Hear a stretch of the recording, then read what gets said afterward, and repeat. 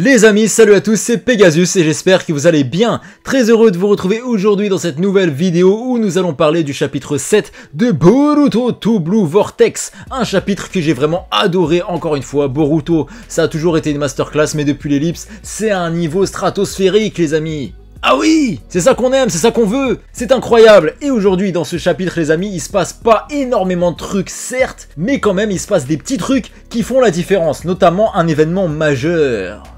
Ah oui Et c'est quoi cet événement majeur?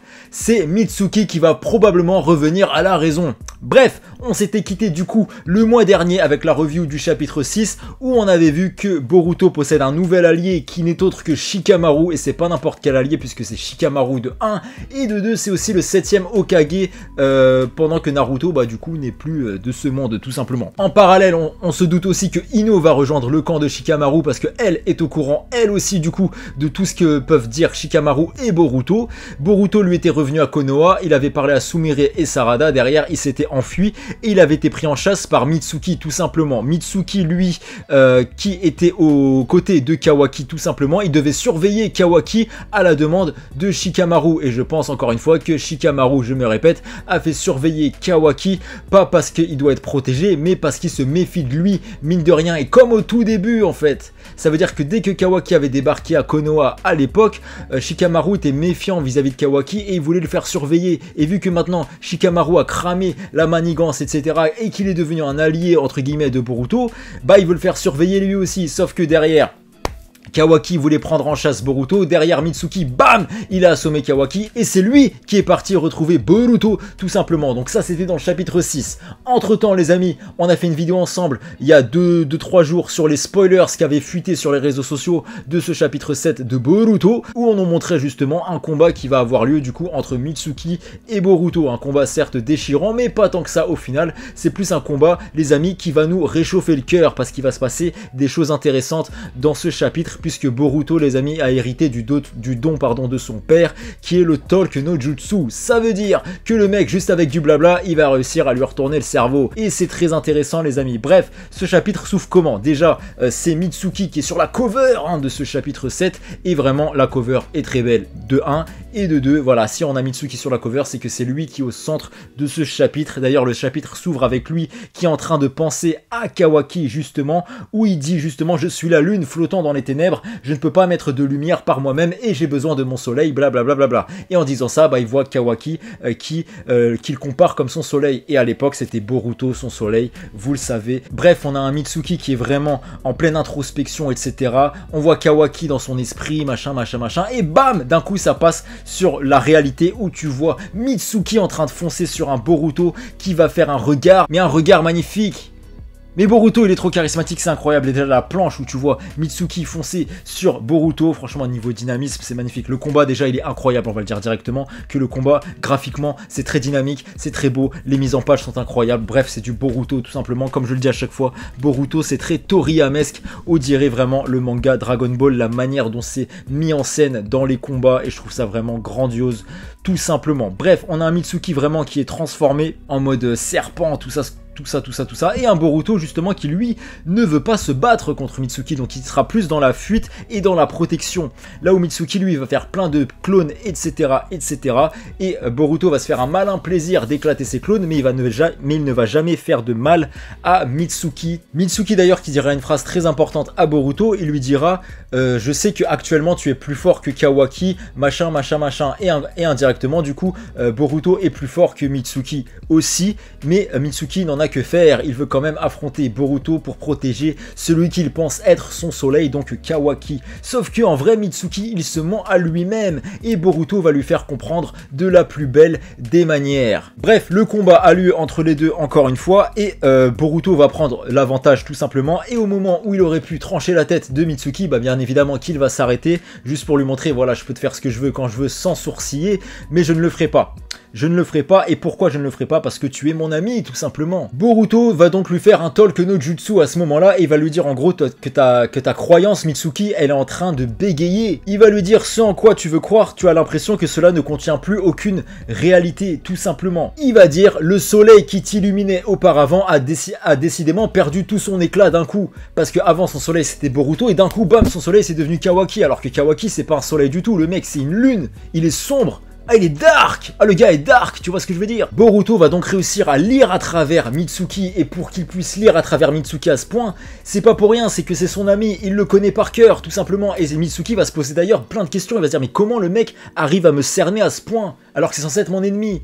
Eh bah non mec, c'est pas ton ennemi, c'est ton meilleur pote, merde Et d'ailleurs Boruto à la fin va lui dire « Je sais où se trouve ton soleil en ce moment, puisque je suis ton soleil et il n'y a aucune alternative. » Et c'est ça qui est beau, ça veut dire que le cœur ne ment pas. Le feeling ne ment pas. Ça veut dire que si même dans sa tête, euh, Mitsuki, son soleil, c'est Kawaki, en réalité, euh, ses émotions internes, elles vont vers Boruto, automatiquement. Et c'est ça qui est beau. Et même d'ailleurs, quand il va attaquer Boruto suite à cette phrase que Boruto va lui dire, Mitsuki va attaquer Boruto avec son serpent, et le serpent ne pourra pas attaquer Boruto. C'est incroyable Et Boruto va enfoncer le clou juste derrière, il va lui dire Avoue, Kawaki, il est différent du soleil euh, que t'avais avant. C'est pas ton soleil, ce mec. C'est de la merde Kawaki n'arrive pas à te faire briller. Et là, Boruto va lui sortir un speech philosophique à Mitsuki. On a un Mitsuki qui semble totalement perdu, qui n'ose même plus attaquer Boruto tout simplement. Et de là, Mitsuki va lui dire Mais qui es-tu, mec? Qui es-tu vraiment? Et c'est ça qui est beau, c'est que Boruto va lui dire Je suis ton soleil, tout simplement. Ah C'est incroyable C'est beau Mais oui Et en plus de ça, derrière, Mitsuki va lui dire Mais pourquoi tu tué le 7ème Okage et là, sous les yeux, enfin sous les oreilles plutôt, de Shikamaru et Ino, Boruto va dire clairement le septième est encore en vie. Je ne l'ai pas tué il est encore en vie. Et là, tout le monde va être choqué, sauf Shikamaru, qui lui, visiblement, était déjà au courant que Naruto, son meilleur pote, était encore en vie. Et là, Boruto va également dire que maman, ou pardon, euh, la femme du 7 est encore en vie, elle aussi. Bon, je trouve ça drôle que euh, tout le monde dise la femme du 7 Okage plutôt que dire Inata, mais bon, c'est pas grave. En tout cas, avant de partir, Boruto, les amis, il va euh, se retourner, plein de charisme, et il va dire à Mitsuki, si tu as vraiment besoin d'un soleil, tu peux me rendre visite quand tu veux, je suis ton soleil, mec. Wouah La dinguerie. Et là, t'as un plan sur Mitsuki qui a l'air soulagé, qui a l'air totalement bouleversé, en fait à la fois soulagé et bouleversé. Donc là, plus personne ne comprend plus rien.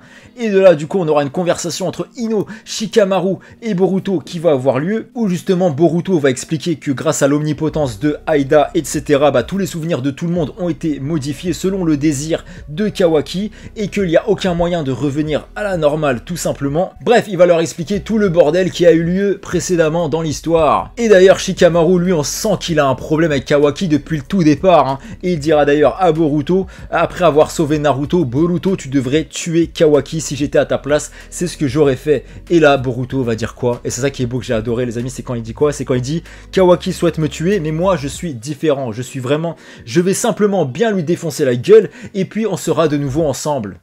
C'est incroyable, les amis. C'est comme à l'époque avec Sasuke et Naruto où Naruto ne voulait jamais tuer Sasuke. Au contraire, il voulait juste lui éclater sa grande gueule pour le réveiller et derrière lui dire c'est bon mon frérot, maintenant on reprend là où on était avant quand on était grave pote, etc. etc. Et bien évidemment que là t'as Shikamaru qui va lui dire mais tu seras encore en cavale, comment tu vas faire? Qu'est-ce que, qu'est-ce que ça te fait d'être en cavale limite? Boruto va dire d'une manière, il va être accoudé contre le mur comme ça en mode beau gosse, en mode mannequin, j'ai envie de le prendre en photo carrément. Il va dire je m'en fiche. C'était mon intention depuis le départ. Mais quel beau gosse Mais quelle attitude Il est à deux doigts de s'allumer une clope, le mec Incroyable Et comment se termine ce chapitre, les amis? C'est qu'on a le chef des Senju qui est en train de lire des bouquins, de s'instruire tout simplement, et qui va dire une phrase intéressante. il va dire « On devrait jeter un coup d'œil là où se trouve Naruto Uzumaki ». Donc, je pense que ces mecs-là, vu comment ils ont l'air cheatés de fou, ils auront peut-être la capacité d'aller dans la dimension où se trouve Naruto, dans la dimension où Kawaki a enfermé Naruto et Hinata.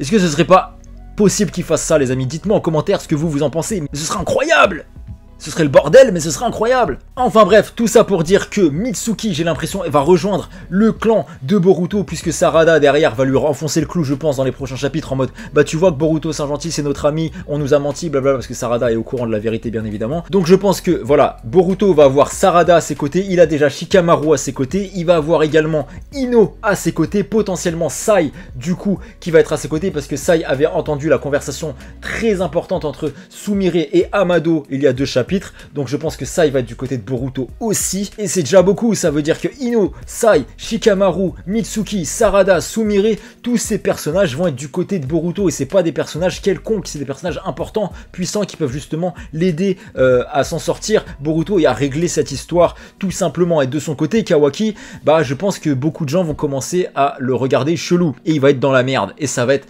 très plaisant à suivre les amis, en tout cas, je tiens plus en place jusqu'au chapitre 8, hein. je vous le dis clairement, chaque mois c'est un supplice d'attendre, je suis trop fan, Boruto, tout Blue Vortex, c'est la vie, mais disons-le clairement, c'est incroyable, c'est de la masterclass, j'adore. Enfin voilà les amis, c'est tout pour cette review du chapitre 7 de Boruto, tout Blue Vortex, n'hésitez pas à me dire en commentaire ce que vous, vous avez pensé de ce chapitre, et si jamais j'ai oublié de parler de quelque chose, dites-le moi aussi en commentaire, parce que encore une fois, je fais cette review à chaud, je viens de finir le chapitre, et bam, j'ai allumé la caméra, et j'ai été obligé de partager euh, mon ressentiment avec vous, c'est pour ça que je suis un petit peu excité dans cette vidéo, tout simplement, parce que Boruto, ça me fait, ça me fait procurer des émotions euh, indescriptibles. Ah, j'adore, je suis fan, tout simplement.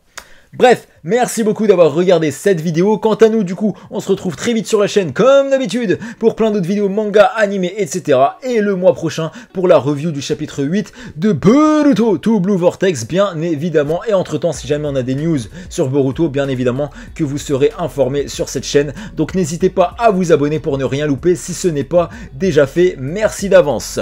Enfin bref, les amis, merci encore d'avoir regardé cette vidéo. Vous l'avez compris, on se retrouve très vite. D'ici là, surtout, Prenez soin de je vous embrasse, à bientôt. Sol